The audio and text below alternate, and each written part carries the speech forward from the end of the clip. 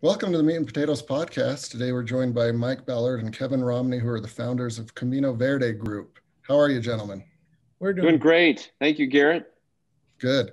All right. So Camino Verde Group is a, a real estate and development company, and we are going to be talking about one of your uh, your projects, which is called Ephraim Crossing. Uh, I guess the name explains where it is, but um, uh, tell us what the project is. What is Ephraim Crossing? So Ephraim Crossing is a 126 acre uh, master plan community that we're building in Ephraim, which is about an hour and 15 minutes south of uh, the center of Utah County. And it's home to Snow College.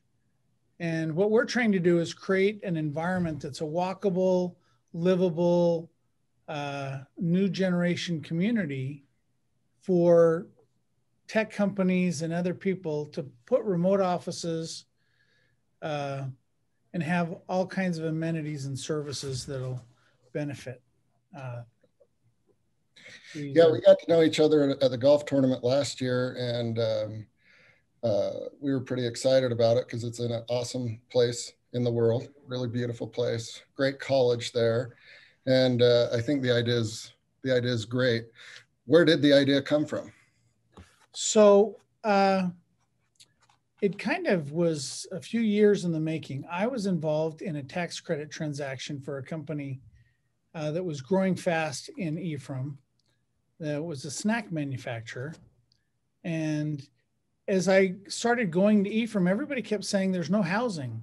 There's no housing. I talked to the university, the president, and he said, I've made a couple offers to faculty and they they've accepted. And then when they try to find housing, they couldn't. And so they rescinded the offers. Okay. And so I heard that. And then uh, after, then I've talked to money sources about potentially making investments in, in Ephraim uh, from several folks in Salt Lake or Vegas or other places. And there seemed to be an appetite for it. So I called a realtor that I had met in my travels and said, Hey, can you tie up some land? And one thing led to another, and we're up to about 126 acres and uh, have put together something I think is uh, pretty nice.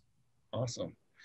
All right. And then, uh, Kevin, how is the uh, project coming along? What phase are the you? Project so we're in phase one. Uh, we have broken ground on the 44 lot subdivision, and we plan to have homes available for purchase uh, by uh, late May, early June.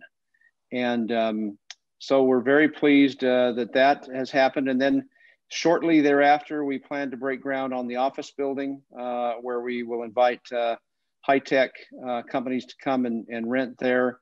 And then uh, after that, we'll be starting on the townhomes.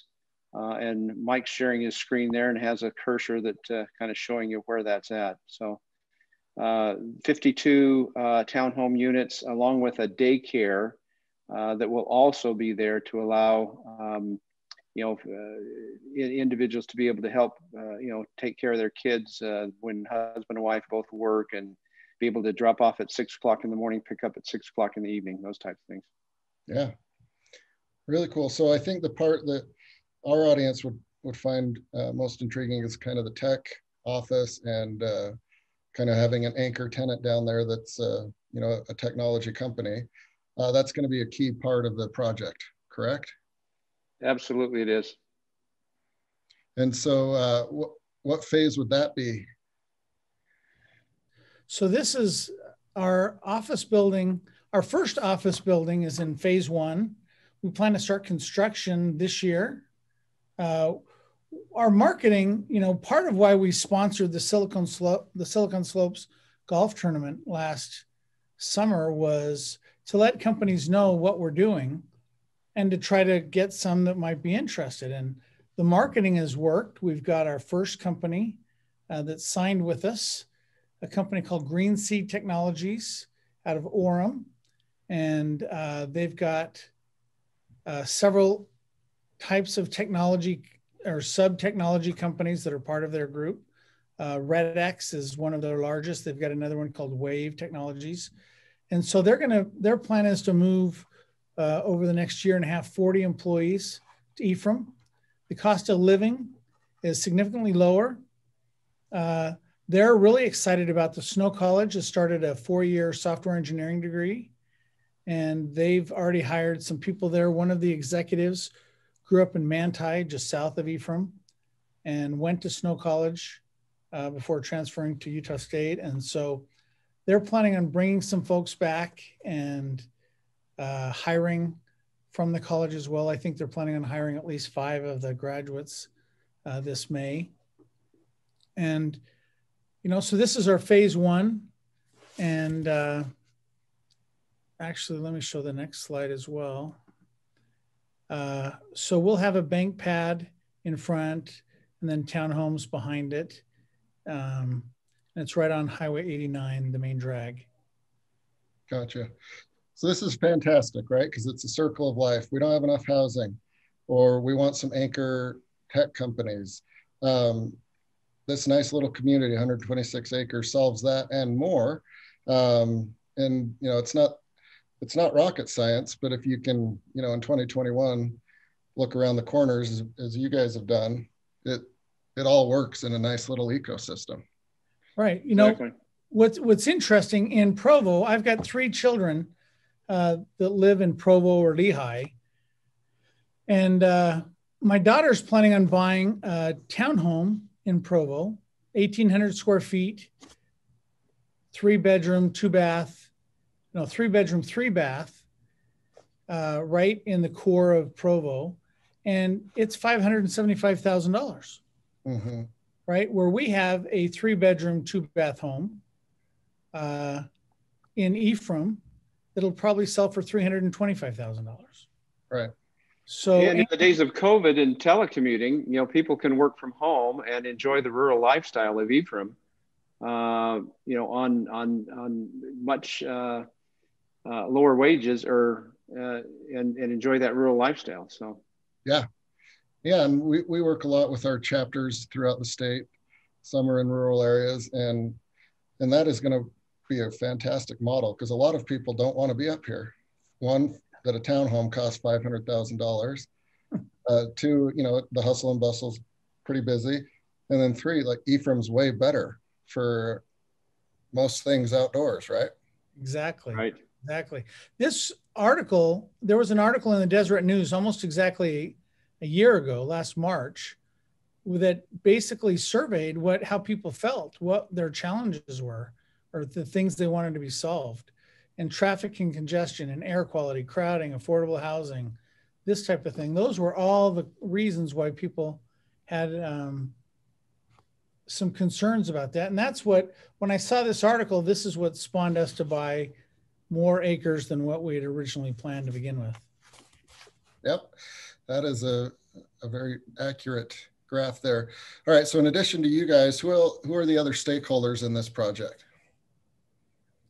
So we have some some of the local residents or business people are very helpful and supportive. When we had our grand opening, Snow College is uh, extremely supportive. They think we're a key part of their growth. Um, on just the housing part, they said you're going to provide housing for our faculty, our administrative people, and our married students. Um, we're not really trying to provide student housing at all.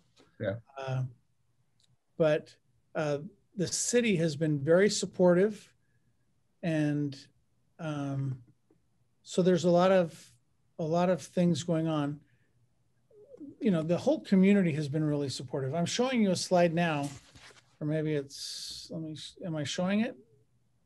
No. Let me share the screen here.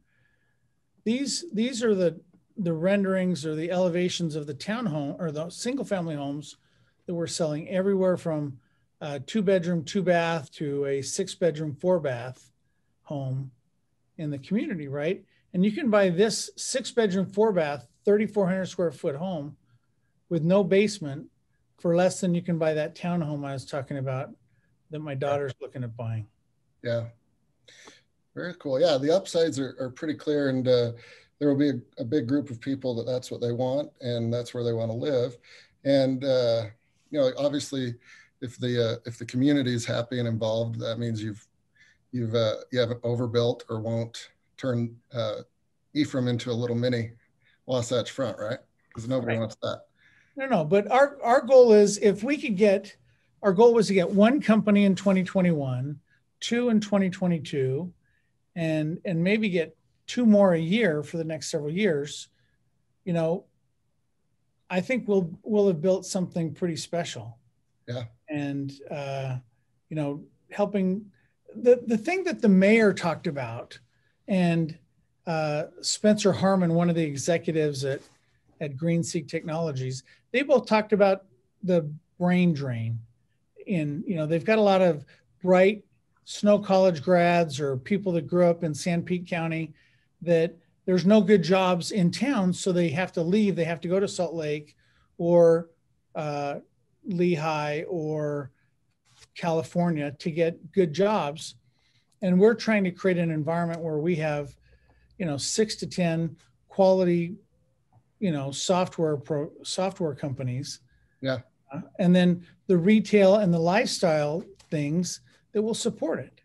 Yeah, absolutely.